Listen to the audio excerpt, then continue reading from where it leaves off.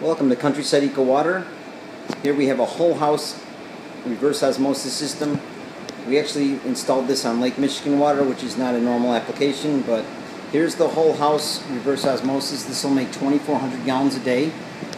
It's completely PLC controlled with fail safes that even tie in with the alarm company.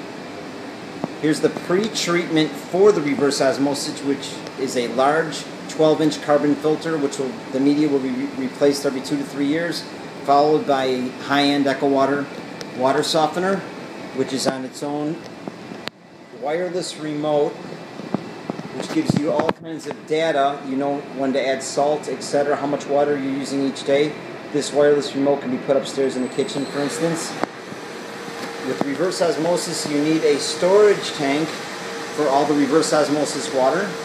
Here's the storage tank. It's a 200 gallon food grade polyethylene storage tank with a constant pressure frequency, frequency drive pump.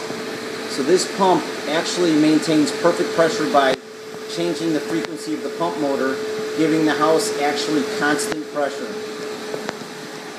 This here is an ozone loop for simply sanitizing the tank every night.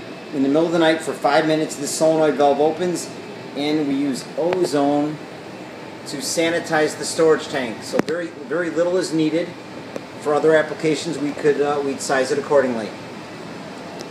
Uh, fail safe is done in every aspect. We have an ultrasonic level control.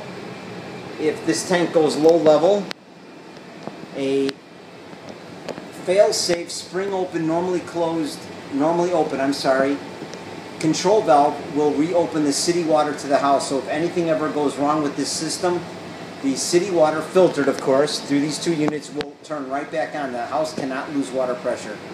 We also have, for safety, two water bugs, floor moisture sensors that will turn off the reverse osmosis and will turn the city water back on. If there's a failure over at the repressurization pump, we have a water bug as well on the floor that will turn the uh, system off completely and open the city water valve back open again.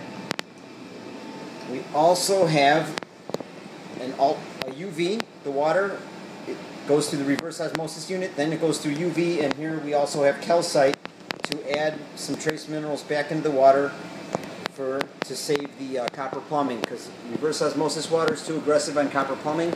So by going through calcite, which is contained in this unit here, we'll change that out every four months and add more. By going through calcite, we protect the copper plumbing as well. There's an hour meter on the UV, so you know exactly when to uh, change out the light bulb. Whenever this is running, the day, the digital day numbers light up on this display and tell you how many days left to change out the bulb. That gets changed out every 365 days of use.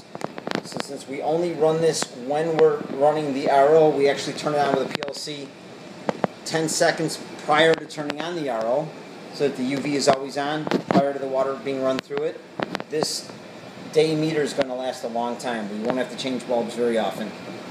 And the PLC is contained in here. There's some lights so that a person, the homeowner knows that there's an alarm condition or if they're running on city water. Thank you for watching this video from Countryside Eco Water. You can uh, see us online at www.countrysideecowater.com and you can see our other YouTube videos on that channel as well. Thank you and have a great day.